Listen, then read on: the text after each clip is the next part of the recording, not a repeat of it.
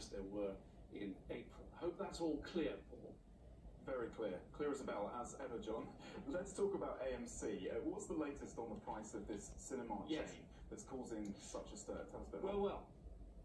Yeah, well, we're going to do this more in detail in the program before we finish at the top of the hour. Somebody's going to come on who understands the retail investor mentality. So let me just set this up for you by saying that AMC is a movie chain, chain of movie theaters. That's all it is.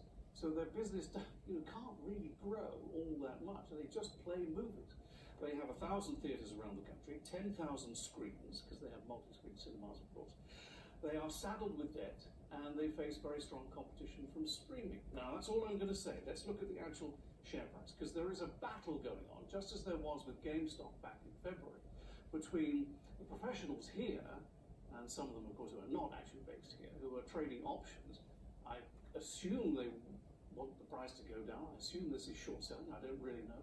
But the retail traders, the so-called Reddit crowd, are just piling into AMC big time, and there's no real reason for it. Certainly not the fundamentals of the business. So, what do we have? Yesterday, it hit an all-time. And first of all, AMC is up 3,000% since the beginning of the year in share price. 3,000%. And remember what I said about his business not really being able to expand very much. Yesterday it was up 120%, 107%, and 101%. Those were my own observations. And it closed up 95%. And today it is down 31% at $44.21. So $62 at the close last night, 44 now.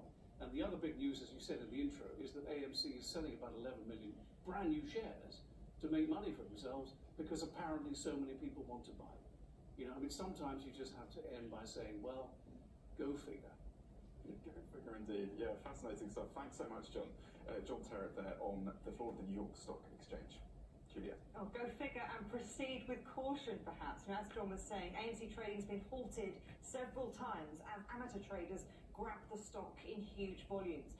Cinema chain has been the centre of this so-called meme craze that's seen retail investors trying to outwit Wall Street. Now, the Frenzy is the latest example of a so-called army of small investors who congregate on online platforms like YouTube, Twitter, and Reddit. Now, AMC almost doubles in value on Wednesday, its CEO offering free popcorn to even the smallest shareholder. And as John was saying, you know, they, they struggled to turn a profit last year with the cinemas closed uh, because of lockdown. Major hedge funds bet billions that the shares would fall, but instead, that social media campaign by those amateur traders is driving a price boom. It's now up 1,400% since the start of the year. I mean, just take a look at that jump. My goodness, that's a huge amount. So let's talk to, to Andy Lee, a retail investor and one of the individuals behind what's going on at AMC. He joins us now from Taipei. And Andy, you were nodding away, nodding away sagely there to, in the background to, to what, what John was saying. John and Paul Yeah. and you. Go, Paul. I mean, I think first of all, you know, what is meme investing all about? Well, it's about investing in the stock that you love and you support it with all you've got. Like, for example, buying the shares buy and hold. That's what we apes do, Juliet. you call yourself an ape. This is a, primal thing, a, a planet of the apes. Just explain for our listeners. Oh, that's very good. Planet of the Apes. Yes, we retail investors who invest in AMC and GameStop, we call ourselves apes because we are simple-minded and we are stubborn. We buy and hold, and that's all that we do. We're not bulls going long. We're not bears going short. We buy and hold. We are apes. That's what we call ourselves, Juliet. And how long have you been doing thi- this kind of influencer investing? Uh, well, I invest myself, I share what I do, and other people make up their own minds. I do not try to influence others. I've been doing this for um, like um, three or five years already. And you, you, you- you say you're not trying to influence others, but um, you, you, Yeah. are, and you're investing in what you love. But you know what? The higher the price of something goes, the, the further it could fall. I mean, there's got to be that temptation to, to, to profit take, to, to get out there, there quick. I mean, what, what's more of a buzz for you? That, that risk or the squeeze that you're giving institutional investors? Right, that's a very good question, Juliet. What buzzes me? Uh, um, the squeeze you're talking about, it's because us retail investors are sharing on the social media platform that this is a good old company that has been shorted by hedge funds. Now, we don't like what the hedge funds are doing. These are good old companies that we love. Video games bought at GameStop, going to the movies, AMC. We want these companies to stick around. We don't want these companies to be shorted by hedge funds and then go bankrupt and then go to the grounds. We want them to stick around. We don't want them to go into oblivion. So we support these good companies by buying their shares, going against the hedge funds, shorting good companies, providing decent jobs. Juliet.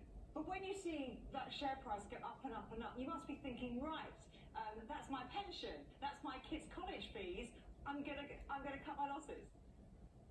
Uh, well, um, it's called profit taking.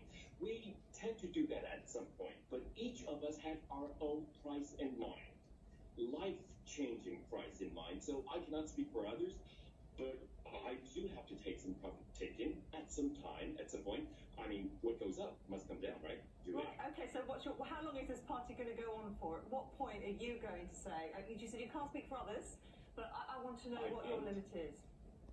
But I hang on a I minute, I thought you shared all of this with your community on, on, online. Share it with us. Yes, yes, yes, I do share, but I don't talk about price predictions. I don't talk about timelines because each of us have our own price prediction and timelines. As for me, I just want the share price to go up to a life-changing profit-taking level. That's it. That's all I can say.